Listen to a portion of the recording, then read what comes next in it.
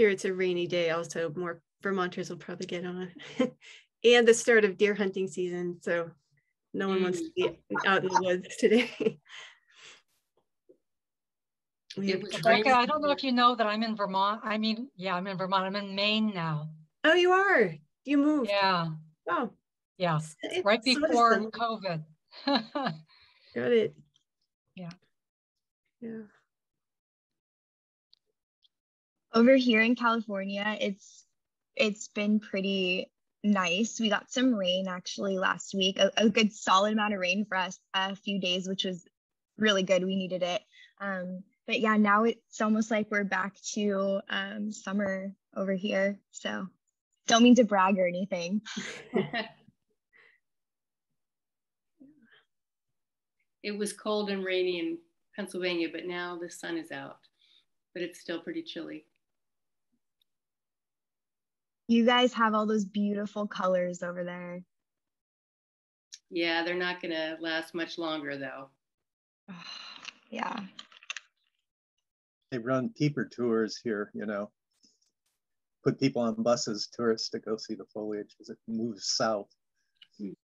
Oh, I see Meredith Bergman. Hi, Meredith.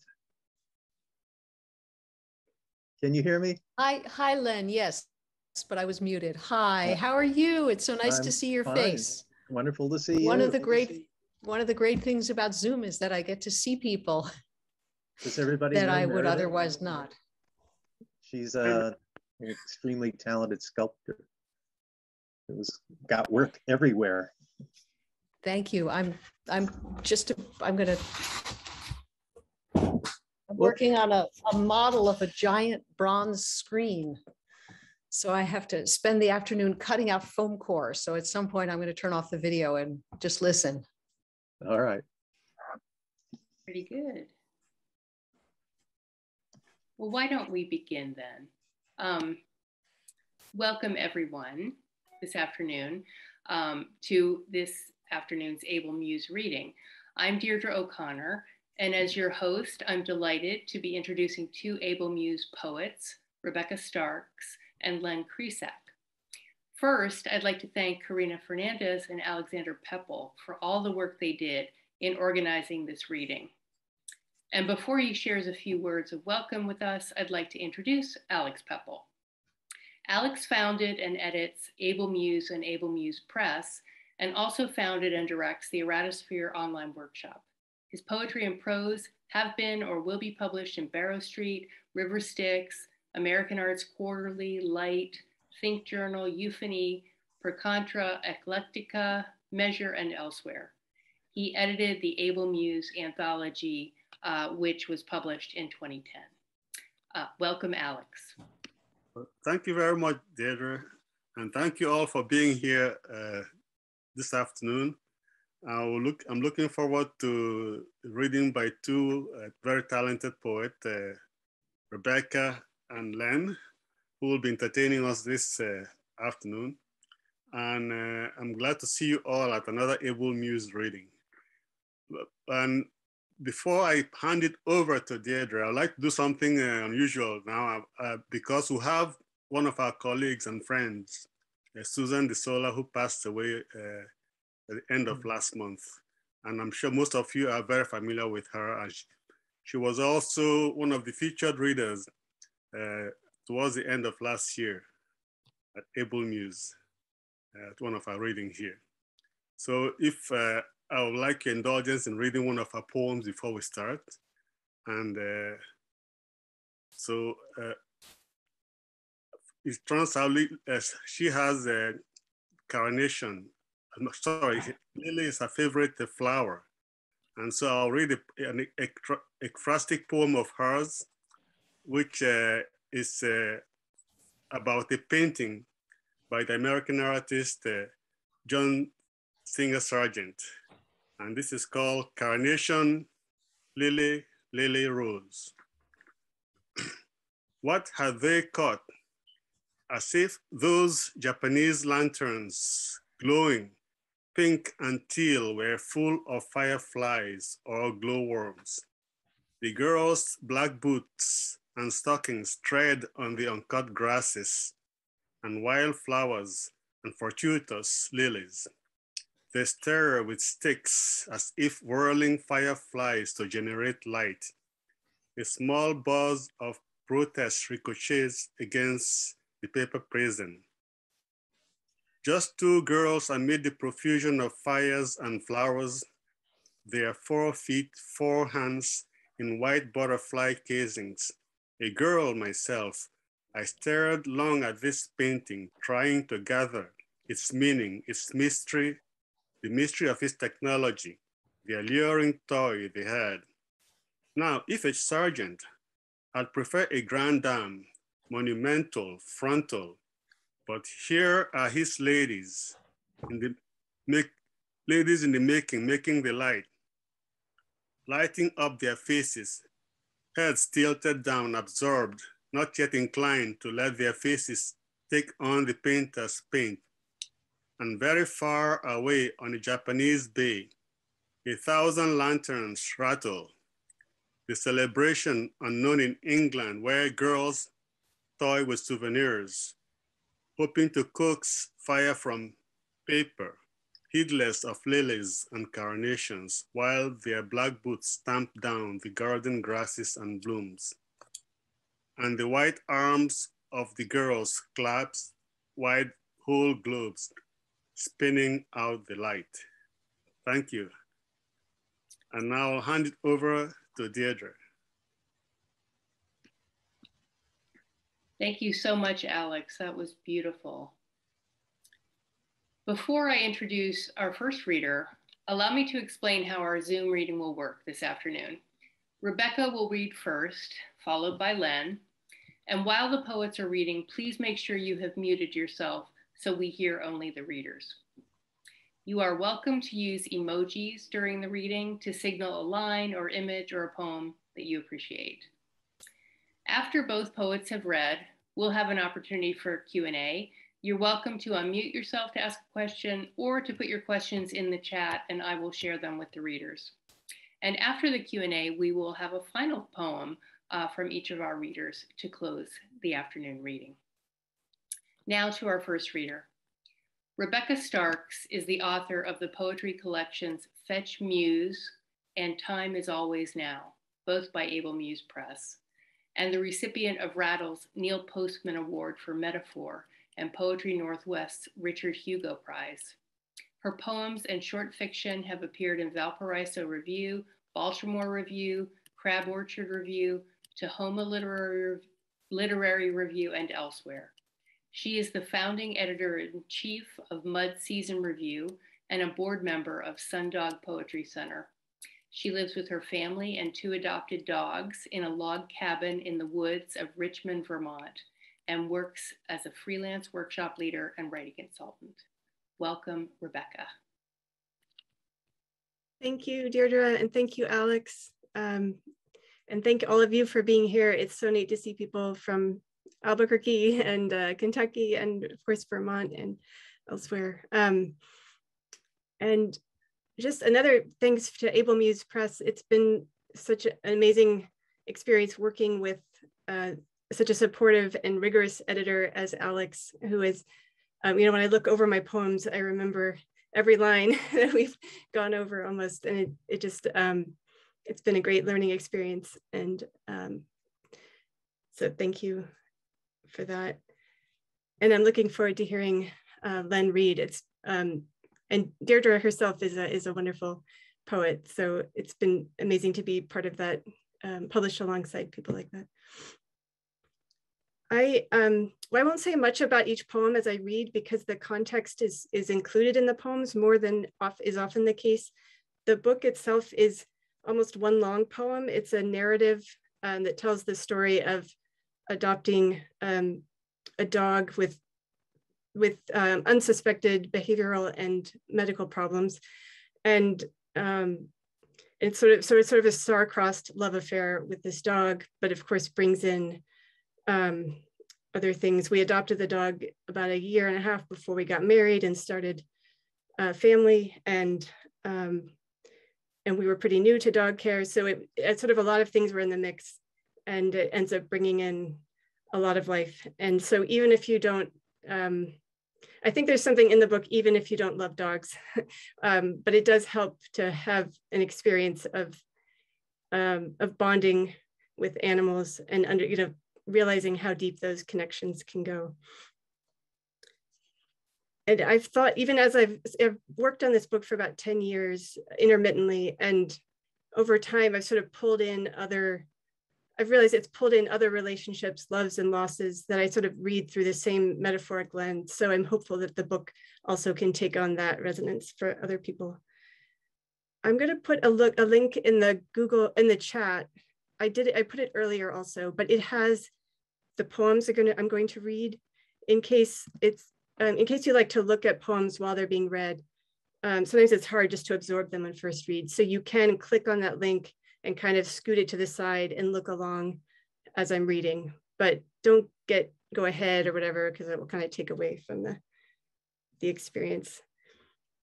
Um, one note on form, uh, most of the poems are in unrhymed sonnets or mostly unrhymed. Um, I first wrote the book as a, the first draft was a full narrative, like uh, with just section uh, 14, in 14 line seg segments that kind of there were maybe 250 of them and it was just it just kept going and then i decided to go back and sort of highlight some of those moments and really refine the sonnet form for them but then i've kept some narrative bridges kind of um, so you'll see some things that aren't sonnets um, and the you the poems that are addressed to a you that is the dog but also the muse um, the dog being the connecting to the memories that I'm writing about. So with that, um, the first poem, the first poem shares a title with the dog's um, owner, Dog Owner's Manual by Patricia McConnell. It's called The Other End of the Leash. When soon after we got the dog, we learned that she had a very disabling hip dysplasia. And it was other dog owners at a park who let us know that's what it was. Um, so that's the back backdrop for the poem the other end of the leash. The truth is, I hate imposing constraint, strapping toddlers in car seats, forcing pills down a cat's throat, opening the bedroom door before a sleeper's breath has fully risen, on anyone but myself. No longer free, I wanted you to fly, possessed by nothing but the bounding, boundless joy we'd nearly lost while we stood calcifying on the sidelines. So much for vicarious transcendence, that one last fling. You'd be instead a mirror of our hardships, evasions, and displacements. From then on, whenever we watched you run, all we could see was the pain, punishing, impersonal, you tried so hard to run from.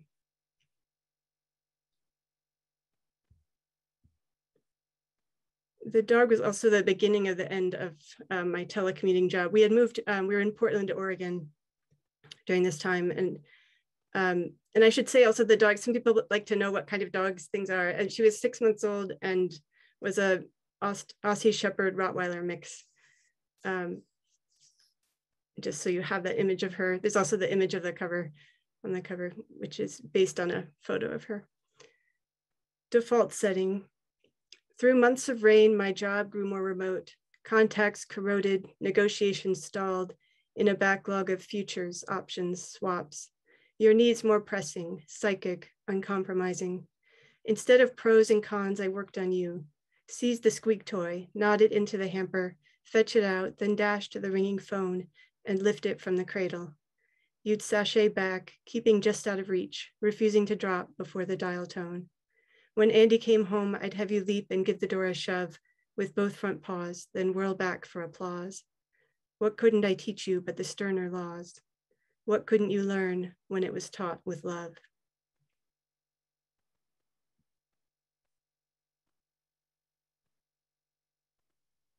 Wasted wish. With time, I've come to value the commands I never thought to give for things you did, excuse me, for things you did quite well, but never at the times we wanted. Relax for when I couldn't take you out right then, or bark by which you'd come to know its quiet opposite.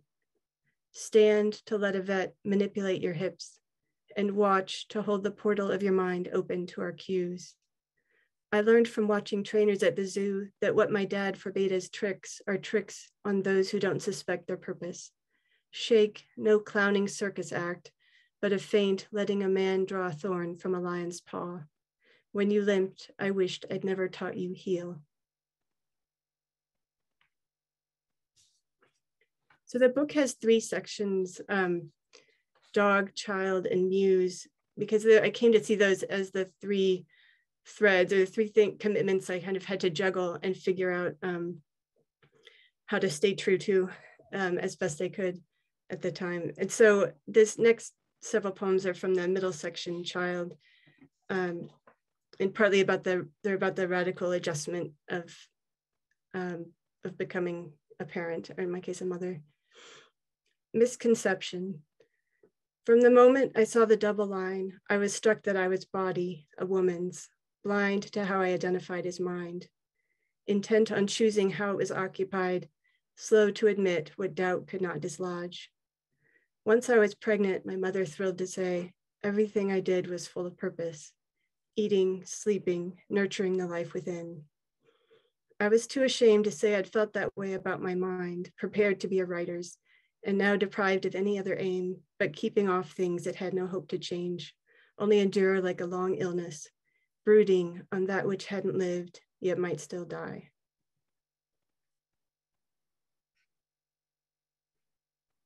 One note on the next poem, um, the whole book I think is a little under the shadow of Milton's Paradise Lost. There is sort of um, echoes in the form for me originally. And but I think of this next poem in particular as my childhood myth of what it means to be fallen and to have to um, to think about your feelings and to justify feel like you had to justify your feelings. Mortal taste. When she stopped eating, I brought her inside and holding her in my lap, read from the page where Hazel hops away from his still body. That's in Watership Down, if people don't know the book until she stretched out, breath ending in a rasp, and her litter mate prodded at the towel to bury her. I was aware of my mother in tears and my father turning away. Night after night, I cried behind my shut door until my father stopped me in the hallway, or was it out on the broken brick walk? The memory restores its surface tension both ways, but then he often repeated himself to tell me I wasn't crying about my rabbit, but about the time I missed spending with her. He taught me something I want to pass on. If you want to stop crying, don't think happy, think evil. The way when you taste something bitter, salt is a better antidote than sweet is. Now it's clearer to me. Upstairs, his mother was dying. Later that month, he would wake us and lead us to where she lay, her eyes part pearl. Each spring, I'd move my rabbits from the garage to an outdoor hutch where the breeze could reach them, ears and noses twitching, feet thumping alarm, alert to a world where I read poems over one I couldn't taste, like the wild clover. The salt wheel rattled. When they shunned my hands, I stopped eating meat, their silence my conscience. Now it is clearer to me, I conflated my rabbit's sentience with my own cosmic no. No, truer to say, some people will always think of grief, think of it, the way lawyers think of trust, economists of generosity. Truer to say, attuned to her soul's wildness, mine had grown. I think of it now, reading of the children warehoused on the border, orphaned by law. What am I crying for? I've spent so little time thumping my foot on that cement floor, sick of the same stale food, looking at no windows, deciding how to use my one rough blanket. And when I stop, what taste has worked its cure? The next few poems um, give a sense of how our lives started to shrink with this dog and how the stakes got higher. Um, the this poem has a, a, spoiler alert that I reveal the dog's name, which I purposely keep um, concealed until then. But um, the, we were sort of embarrassed by the dog's name that we were that she came with at the pound, but we couldn't come up with a new name before she we had to put down an official name because she had to go to the vet for an emergency. Um, so um, here it is. Voice control. Kismet, indeed, I hear a woman snap after you've lunged full throated at her, snapped back by the leash just in time. She'd come around a corner and surprise you more than me. By then I was all reflex, my mind numb, though the first time shocked me into acting, shocked to act shocked to run up against my quickened fear of the fear I'd caught hints of, unarticulated, low growls, but nothing so blatant as this disaster. Trotting ahead of me off leash, along lower Macleay, in a blink you seized, hackles up, legs braced, barring the way, barking and snarling at a man whose adrenaline rushed to rebuke.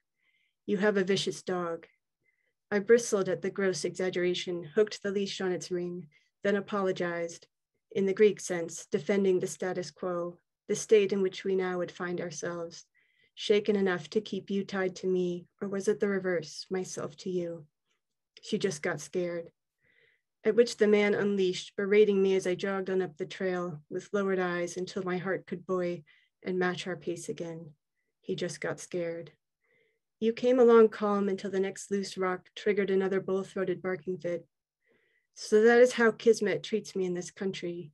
The Turkish man on Belmont, Belmont scathing, pissed reminding us this Portland hippie name had deeper roots that tapped the will of Allah, how he divided lots. Friend, enemy, you divvied up the world so readily. You had defenders, dog people loved you, hands down, you were a real dog lover's dog. And you loved them back, sidled into them exuberant, lapping up the coos, a joy to those who could receive you in that light. This sharp-heeled woman wasn't one of them. Just watch him around the baby, her parting shot, as she appraised us coolly, our weak link.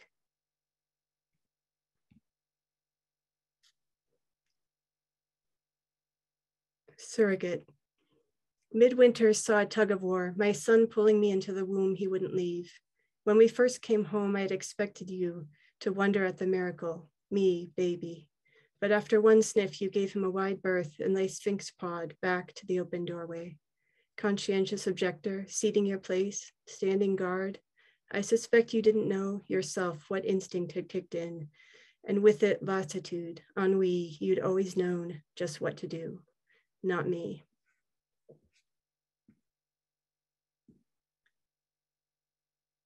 That Other Fall, the title of this one um, is from a Robert Frost poem, The Oven Bird, which you probably know from the last line, um, What to Make of a Diminished Thing, but he refers to that other fall, we name the fall.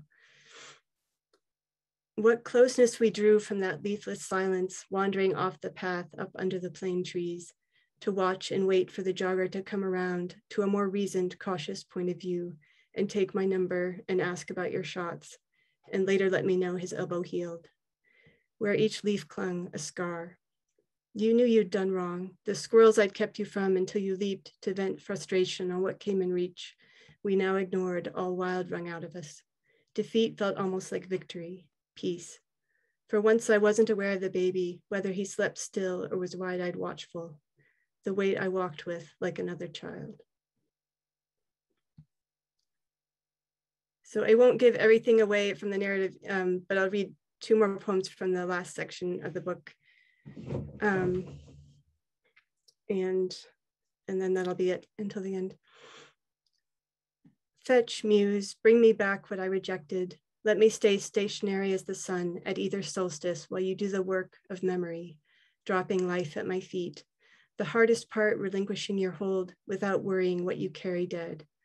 Learning to love the shuttle back and forth, for the canvas weave it tightens with each turn.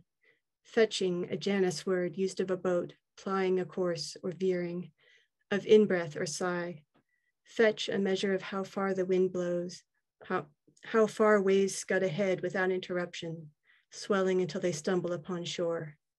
Your fetch as long as your leash pulls you up.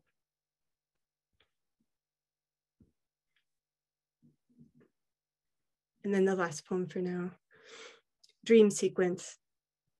After writing you last night, I had a dream our dog had died, and then the thread unraveled and I had you back again, although you'd grown so that on your hind legs you loomed over me, bear-like as I hugged your barrel chest, your fur groomed full in soft curls, a long embrace of nothing I deserved. Andy's stand-in, his hair a swatch of yours before it turned. Then at the back of the refrigerator, I found a chicken drumstick, half ravened, left from the time my mom hand-fed her dog, plain meat, honey, anything so he'd eat.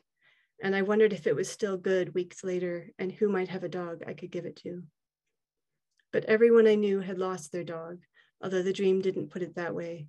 just left me turning absent images. Still, the feeling I woke to was of love, holding you magnified by your return, sturdy and secure as a temple column into which all blind Samson's strength was poured. Today I passed a Norman Rockwell scene, a leashed puppy dragging children through a yard to cross the street and greet a woman's beagle. The older girl stooping to pet him, adoring, crooning. He looks just like our old dog, Bailey. The older woman nodding with approval. We remember all our dogs, all of them. Thank you.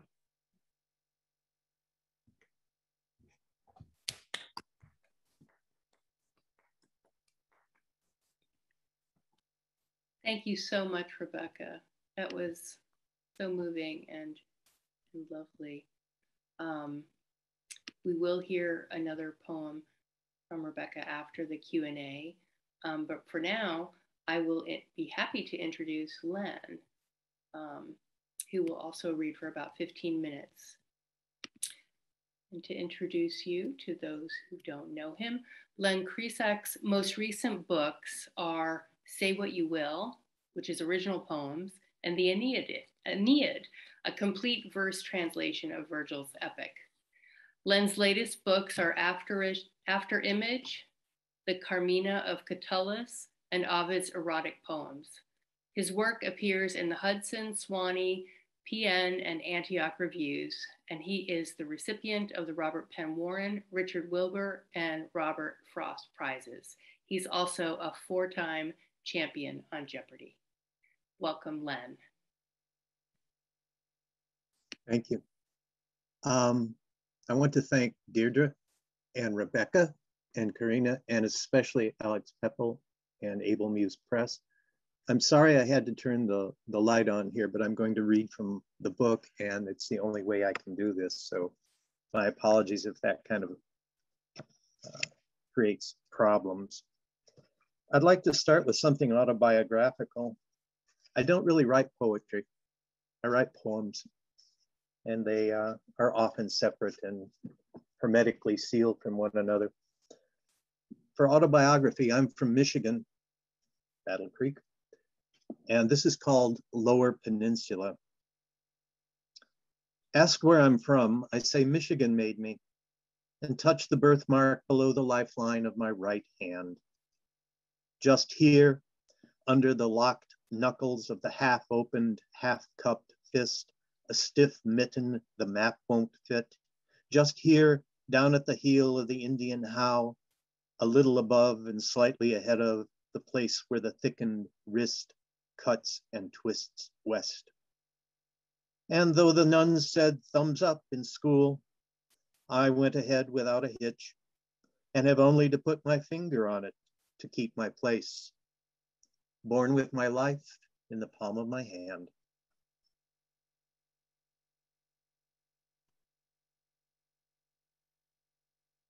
I'll try not to say too much in between some of these poems.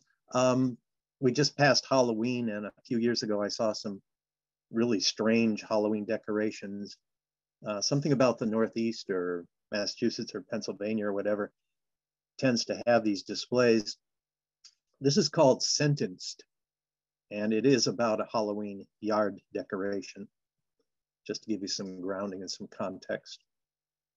The bones have taken up a loafer's slouch, lines sprouting from the joints in graceful arcs that mock the way a corkscrew willow weeps.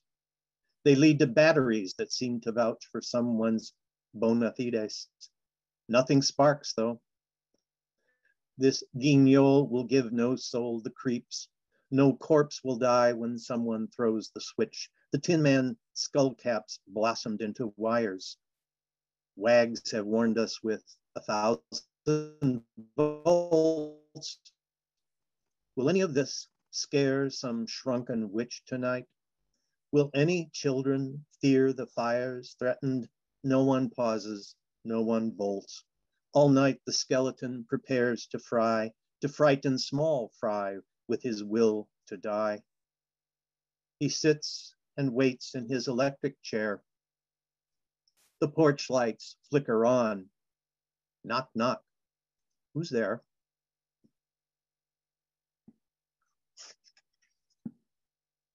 So much for comedy. Uh, this is a poem, only six lines are, yeah, six lines long, written mostly, believe it or not, just for the sound. And yet I, I obviously have an interest in classics. So Ulysses, I think we all know the story. So for 10 years, locust suitors were his foemen, while monster Round Eye raged to know his nomen, and killer wit Odysseus answered, No man. Then, like that pious one, the founding Roman, he spurned his Didos at a goddess omen and cleansed his home with blood, blood's perfect bowman. Um, what should I say? 16. I mentioned an interest in the classics. This is called after Callimachus, um, Greek poet around 280 BC. And he mentioned someone in here named um, Heraclitus. I caution you, it's not the philosopher Heraclitus, just in case there's any confusion. Very famous poem from uh, the classics. When someone, Heraclitus, told me you were dead, I wept to think how once we talked the sun to bed. Long, long ago, I fear your life came to an end, and you are ashes now, my Halicarnassian friend. But all your nightingales are living, singing still, and Hades has not grasped them, and he never will. I'm not entirely sure if it's clear there, but Heraclitus, uh, in this case, is a poet, and the nightingales are his poems. They will go on living. Um, more in a classics vein. Pardon me while I thumb through here. I'm sure we all know that the first three or four, five um, emperors were not particularly uh, laudable characters. This is called Tiberius, and it deals with a, a well-known anecdote out of Plutarch. There won't be conquests anymore. Time saw to that. Now comes withdrawal. There's not the slightest chance that war will rouse the appetite at all. Faint images will have to do. Ghosting memories, blue cave wall. Bound fast this is the last Capri that isolation offers you. Excite yourself with fantasy if memory fails. Below, old goat, the grotto. Up above, caprice. Your vices have you by the throat. Your organs rot now, piece by piece. Waves wash the cave and never cease. I think uh, he became an aficionado of pornography before he died. Um, how about something biblical instead? Uh, yes. I mentioned earlier to, was it to Karina about um, Rocky Ruggiero and uh, Italian Renaissance art? Um, we've seen so many Davids. I mean, there are five or six famous ones, the statues, and obviously Michelangelo and Donatello and so forth. But I've noticed in looking at them that it seems like the stone is often one stone, even in Bernini's. I'm not quite sure, there's no way to tell really.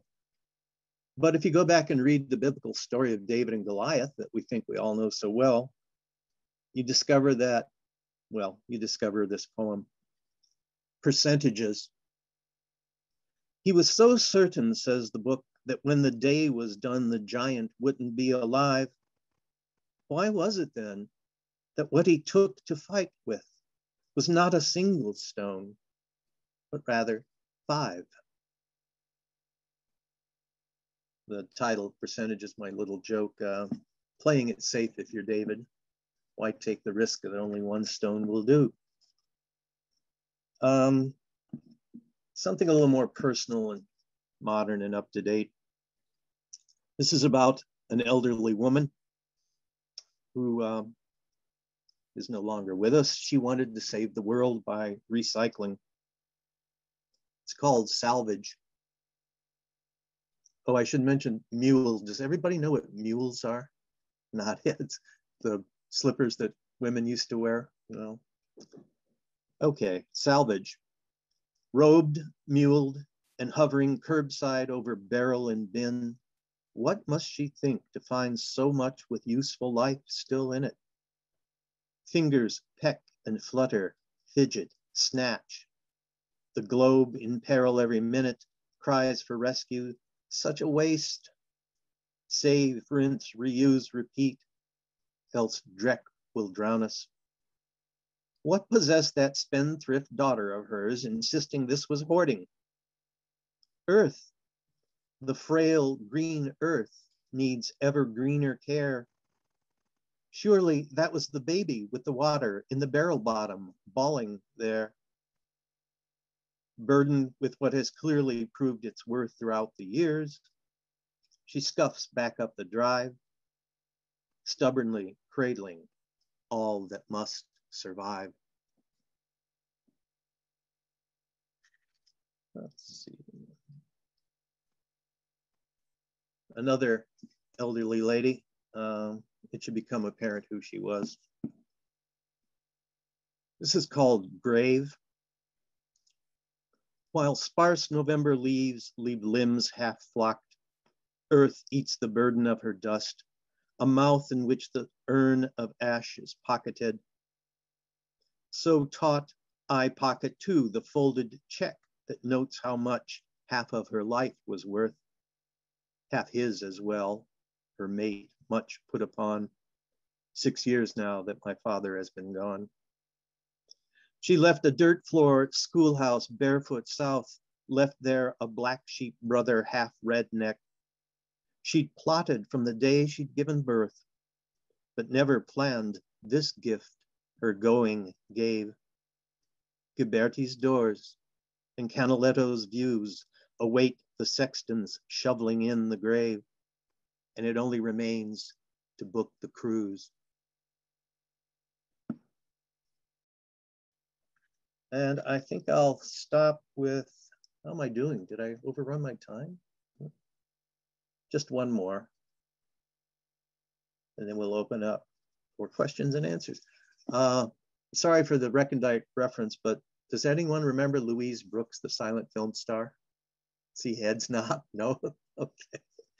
She was a, um, a powerful silent film star uh, and was generally thought by a lot of people to be uh, more beautiful than Greta Garbo, which I kind of get behind that opinion myself.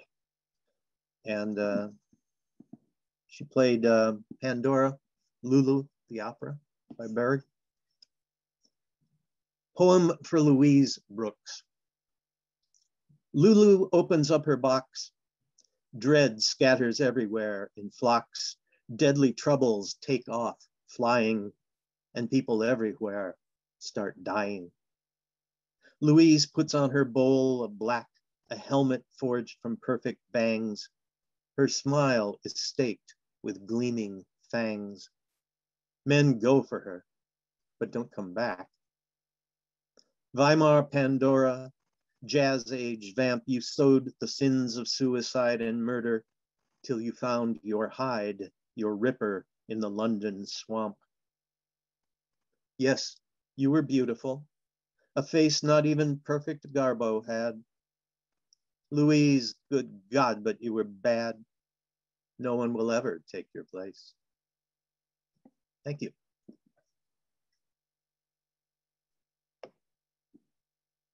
Yes, I should. Thank you so much, Len. Another beautiful reading. Um, I think we have a lot to digest but I suspect that folks may have questions. Uh, so you can either just ju- unmute yourself and jump in, or okay. you can ask a question in the chat. And I will keep an eye out on the chat. Hi, Anton. An old friend. Nice. Hey, Len. Yes. Hey, it's Mark. Uh, Mark Dawson. Greetings from uh, DC. Enjoyed the reading of both of you. Thank you. It's good to see you. Well, here Thanks. Yeah, yeah. Um, I'm ignoring a Georgia Tennessee football game to uh, attend this reading, so uh, that tells you uh, uh, what esteem I hold this work in. Uh, that's noble of you. Yes. um, hey, I just wanted to ask you. Uh, I noticed uh, in your book uh, there were you know two or three poems about elderly persons or uh, persons uh, perhaps confused, and um, I yeah I find in a lot of writers uh, moving poems um, that arise from that from that uh, trigger, uh, for lack of a better word. I think there's a poem in Andrew Hudgins' first book about, uh, I think it's grandmother, uh, one by Chase Twichell called "Poem for Your 80th." Uh, I just wondered if if you had any comment at all about favorite poems about you know persons who are older and maybe what what what compels us to as writers to often go to that topic. I don't know how to answer except to say that I found in each of those cases the the personal connection very moving, and that's why I was brought to write about them. As far as a favorite poem about an older person, maybe Frost, an old man, a winter night. You know. Right. Thanks. Okay. Nice to hear from you. Thank you.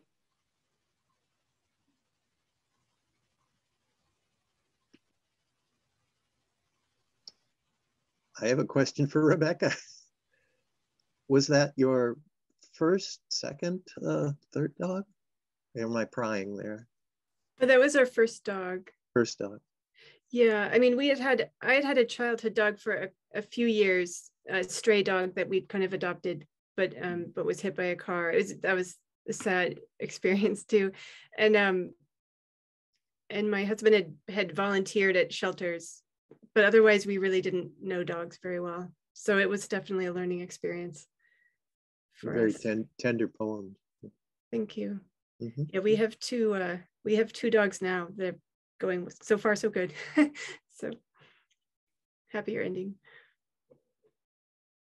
I have a question, Rebecca, as well. I, I believe you said you had about 250 sonnets. Is that what you said? Okay, so mind blown. Um, but also, how did you winnow the manuscript? Um, that's that's a lot of editing. And I'm just curious yeah. about the process and how painful it was or was not.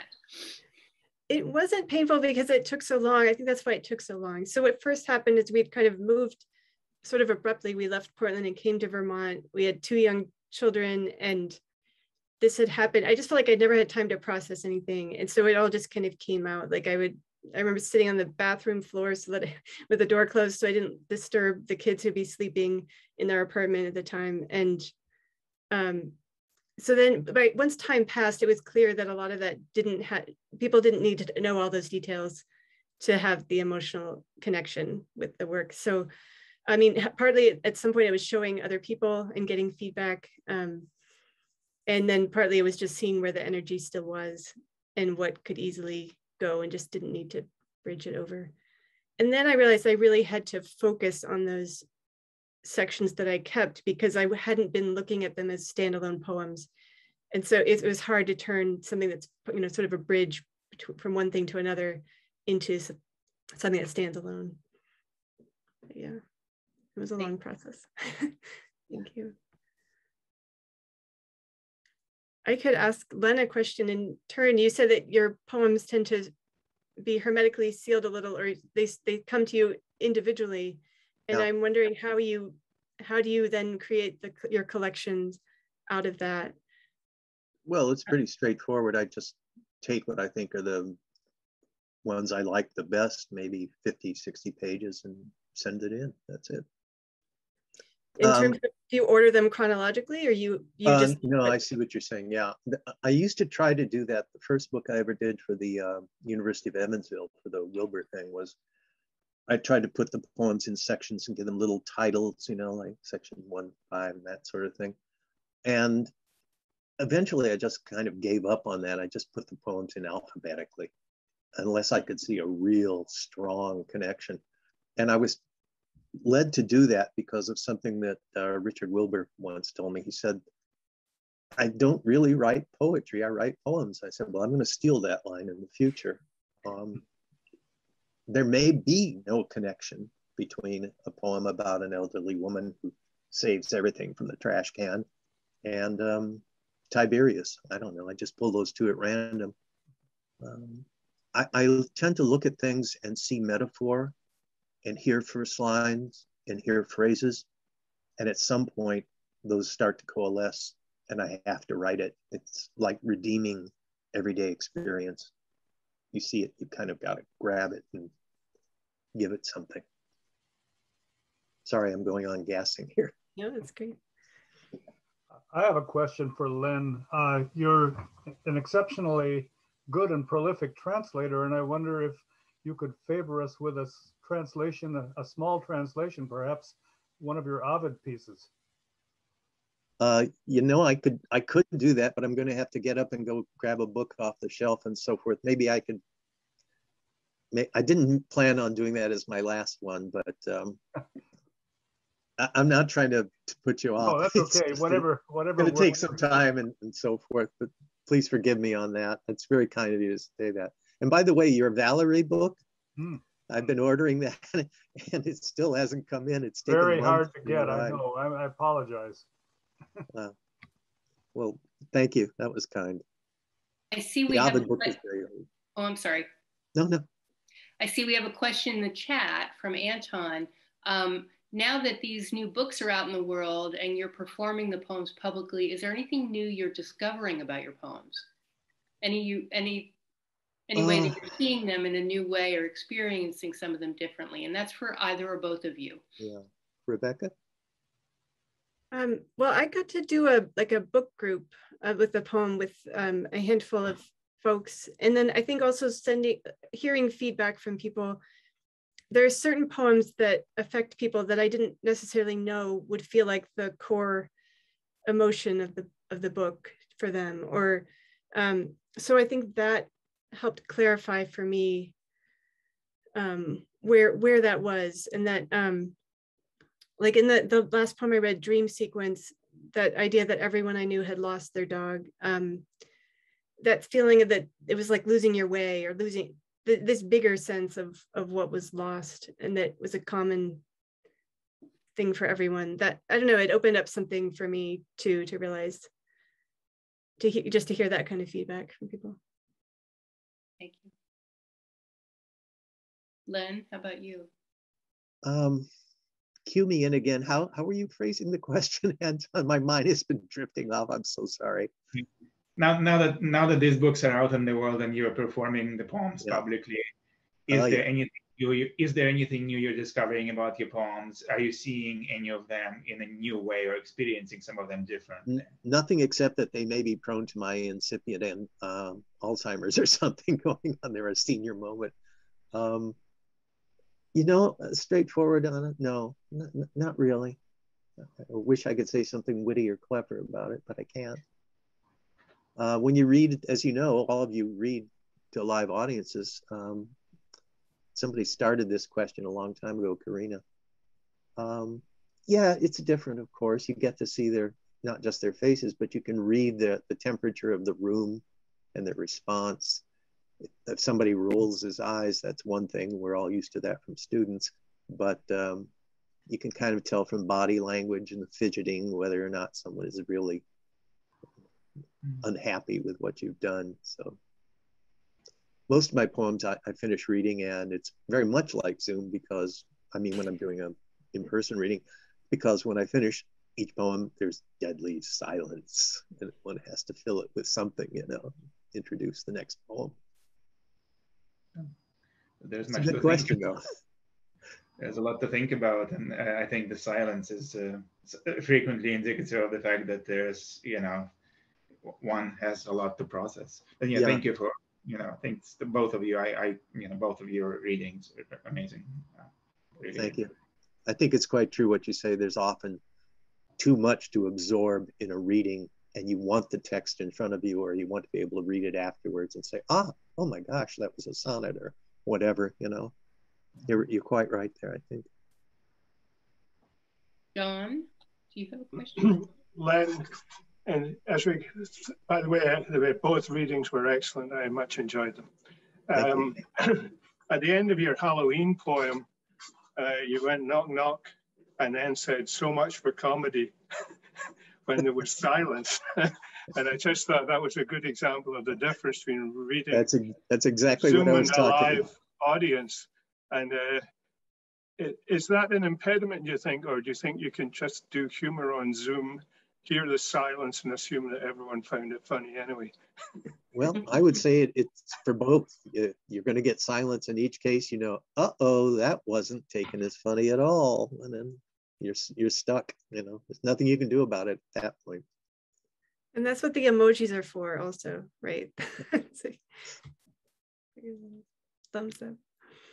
Yes, I should have used emojis. I had myself on mute. I want I, I, would have had more reactions, but I'm on mute. There was like massive thunder going on outside and a loud repairman in the other room. So I put myself on mute, but tried to facially react. Not so good with emojis. Thank you. Um, I see Ellen Kaufman also wrote in that she laughed. Thank you, Ellen. Uh, may I ask a, a question? Uh, um, of both readers. And thank you so much for, for the wonderful readings. Um, it's interesting that um, Rebecca, your your collection is very thematically focused, and your your title is a clever reflection on that. And Len, it's interesting how you're saying that that um, you write poems, not poetry. So my question for both of you is um, about selecting a title, because for my first manuscript, um, it, I feel like it was easy to select a title because everything was very. It was a kind of an. It's kind of a narrative book, um, mm-hmm. and and so the title definitely came to me, and the title made sense thematically. But now for manuscript two, I'm finding, um, oh, there there are poems here and there, and I don't know if I want to do something more thematic. But if I choose to not go a thematic route, what advice do both of you have in terms of how do you come up with a title that somehow fits as kind of an a title that you love but also fits as an umbrella for all the work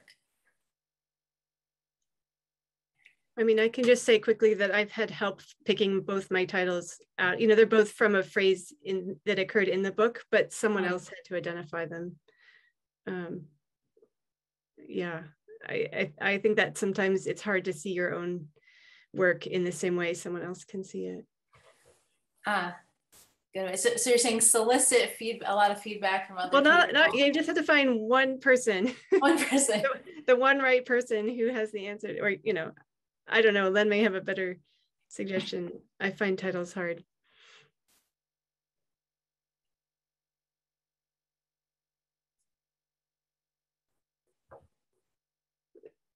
Is Len frozen? I think he might. I think he uh, might be frozen.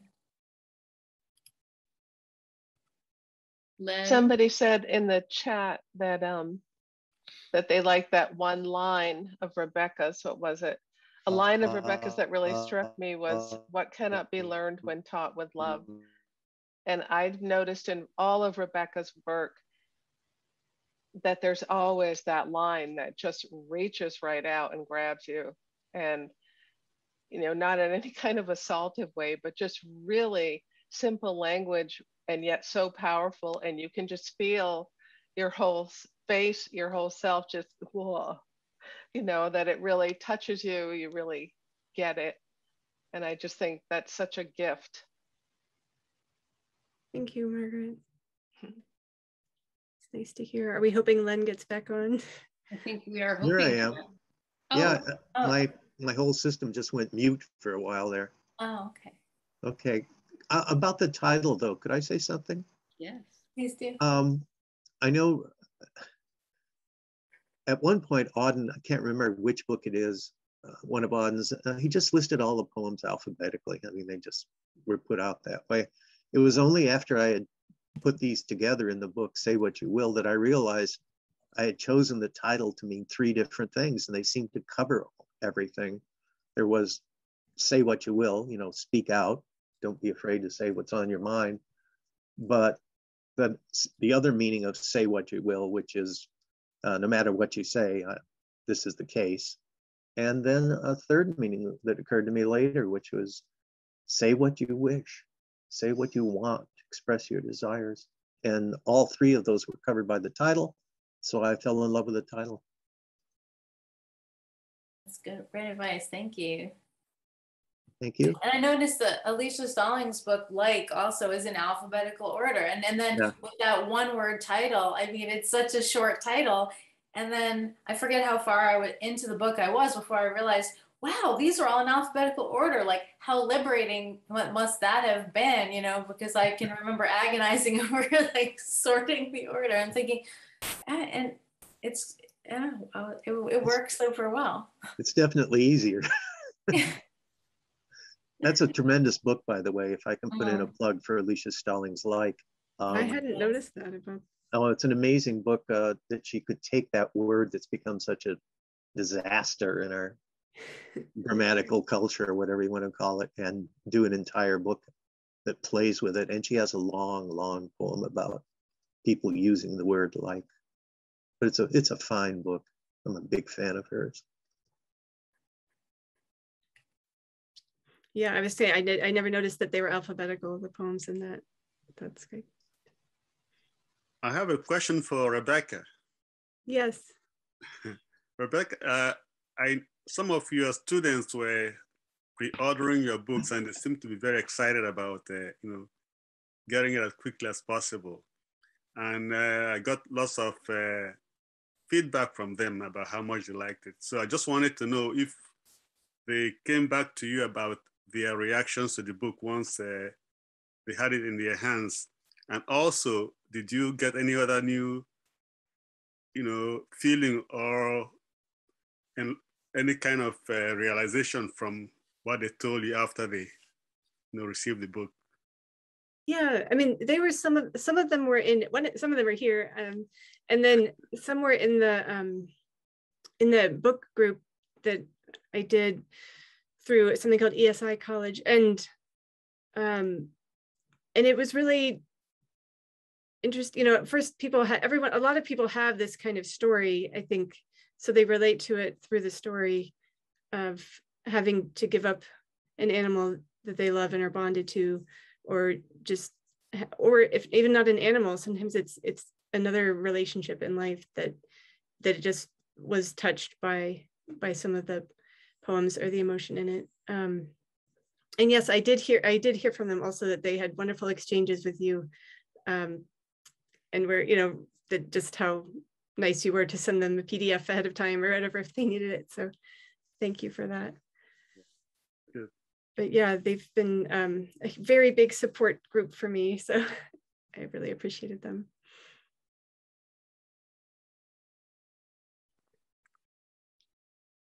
Are there other questions? And also, I'll have a question for Len. Yeah.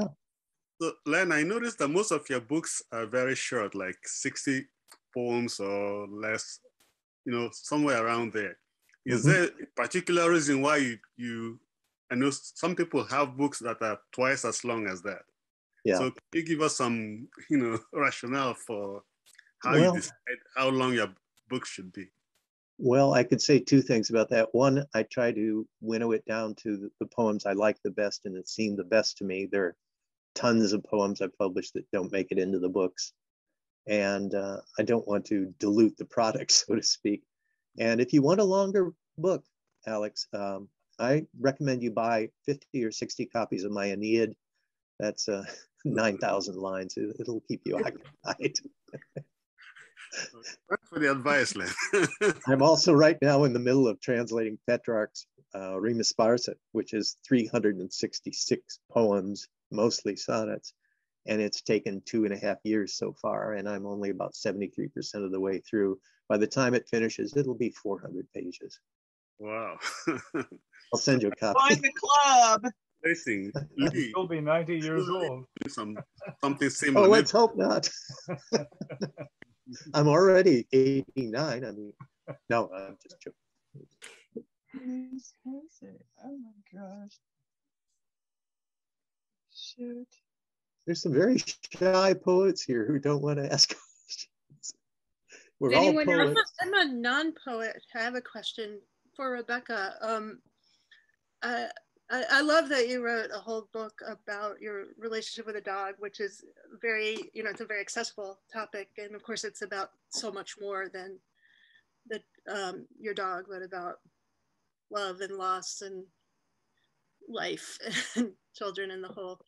I'm, I'm curious, did you set out with, in mind to, write a whole book of poems about, about your relationship with that dog? Or how did you come to be, to do that? Or did you, yeah, did you just start with, what was your starting point in getting into doing that? Yeah, I it's hard. It's it was 10 years ago. I do I definitely know that. And it's hard for me to remember what I was thinking when I sat down, but um, I definitely started with hear Muse. And so there's this sense of like this was an epic about a dog, right? Comparing, you know, very small things in this high language. And somehow it tapped into like that idea of appealing to a muse, which is like your way to tap into memory.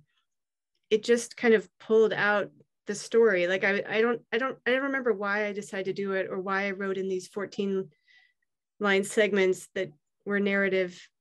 It was, it was a strange, a strange decision, but I, I just, it just kept pulling more out in some way.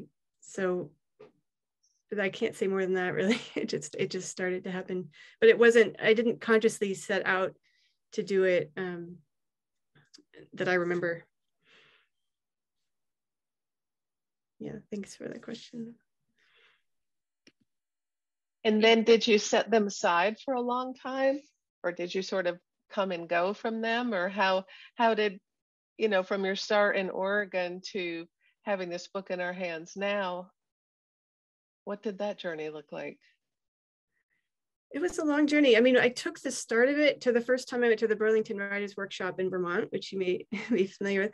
And um, so then it helped actually workshop it some. And then I ended up finding poet Karen Gottschall looked at it early on and she um, helped me with it. I think she was maybe the first to kind of get me to trim it. And then um, I don't know, it just, it kind of went from there. But I definitely, I wrote another book in that time. Um, the one, so that really was later like my first book really came after this this first draft um, if that makes sense so yeah and i've written a book of short stories that i'm working on you know there's a lot of things that came in between but i think time helped me have some perspective on it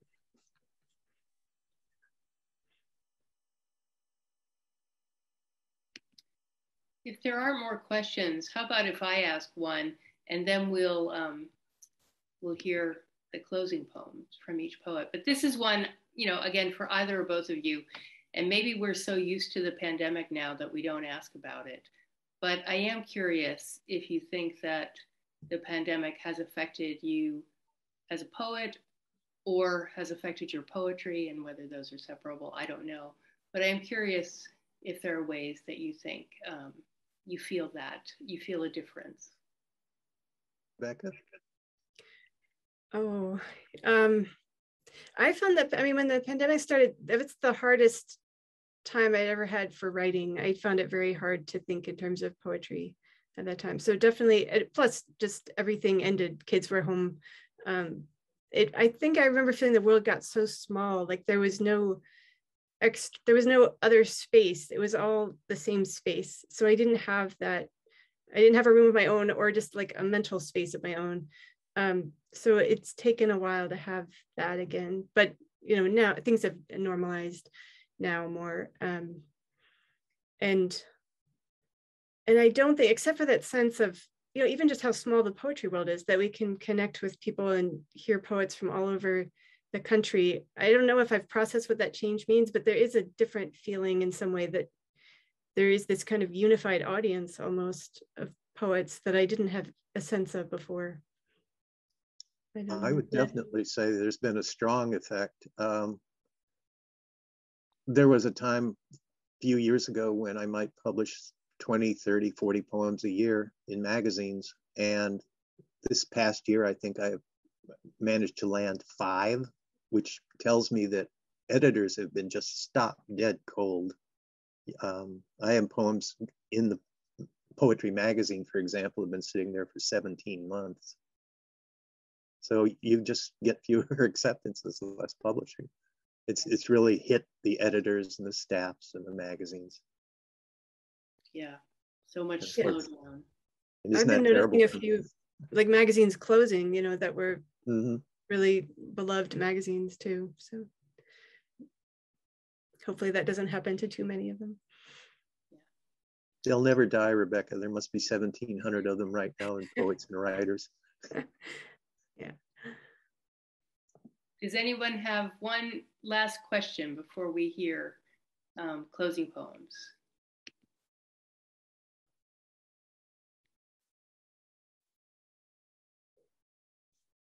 All right. Well, um, Rebecca. Sure, I will read. So if it's still in that document, if you didn't read ahead, it's the last poem in the Google Doc. Um, tempo rubato, that's a musical term for stolen time, um, where you can kind of steal time from one measure and use it in the next. So that's the metaphor of the poem. This, the book has two cameos from our current dog, and this is from our current um, dogs, and this is one of them from our dog named Walter. a few of you know. Tempo rubato. Sometimes on our loop of seeking and reward, I'll look back to find the dog, head askew, gripping a bone still raw with life. Today, it's a pelvic wing scored from the ribs and spine, picked clean in the oxbow, that he lopes ahead far enough to flop down and crowbar his jaw with until I draw even. Each time I pass, he heaves himself up with a reluctance he can't hide. Not from me, lugging my own bone to tear life's spark, stealing a beat so I can lag to gnaw down to the marrow, until something crashes past, kicking up its high white flag. And after the chase, I can't remember why, I feel light listening to the whistling sparrow. Hmm. Thank you. Thank you so much. Len? Okay. Uh, Jan, I will try to send you an email of a, an Ovid translation. I apologize. That was kind of awkward and clumsy. Um, I'm a real, as you might be able to tell, old movie fanatic.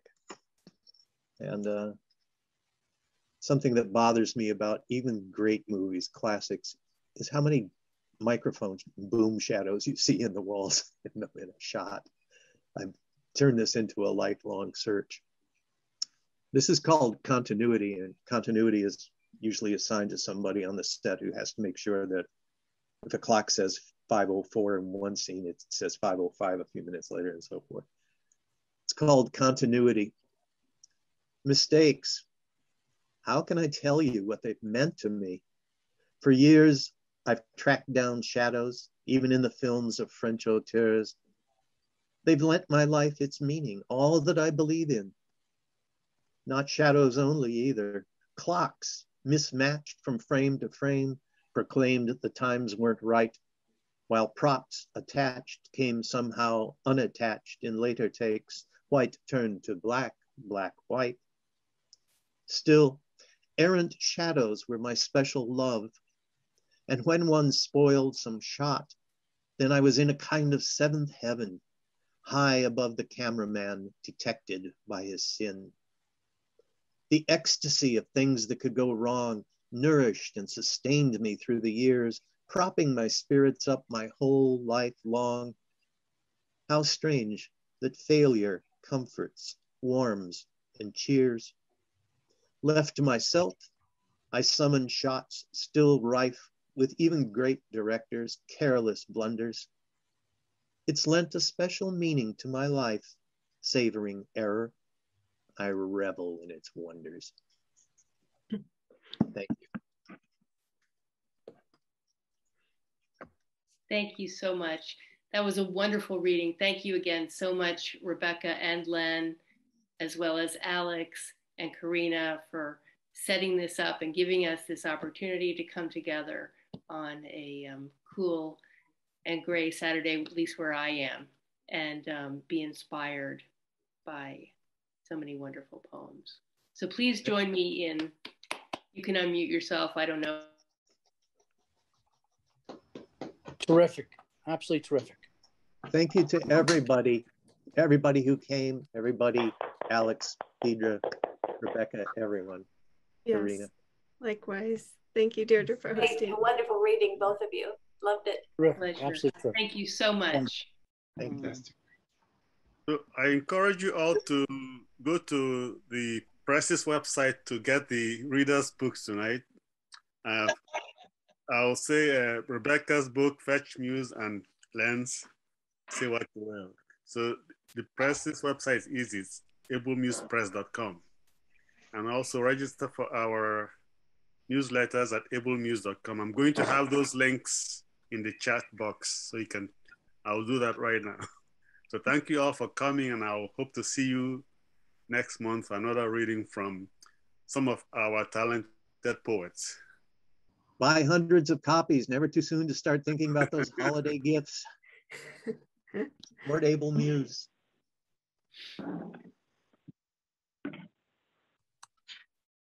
Thank you. Thank you all. See Have you a next lovely time. weekend. Thanks. You too.